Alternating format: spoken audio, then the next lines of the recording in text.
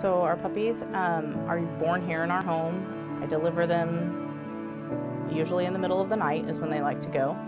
All of our puppies um, see the vet when they're six weeks old for a general puppy check and then again at eight weeks for their spay and neuter. As puppies, we feed them raw and rice and some other probiotics and good things to get their system going and gaining. And then as they get older, we wean them onto kibble um, since that's what most people are going to be feeding.